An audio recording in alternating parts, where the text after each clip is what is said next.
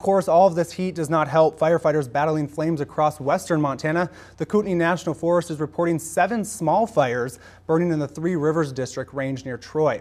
The area, currently in a stage one fire restriction, is 13 miles southeast of the Idaho-Montana border and is home to many lakes, camping sites, and hiking trails. Now, the seven fires burning here are very small and in remote areas. Combined, the fires make up roughly 15 acres. The feeder fire is the largest at 11 acres with three local firefighters and one helicopter working those flames. The Callahan fire is 2.5 acres with two local firefighters and 15 smoke jumpers. The Raymond fire is holding at just over an acre. The Pony fire is at 0.25 acres and the Pulpit 1, Pulpit 2 and Oka Kaga fire are at 0.0 acres.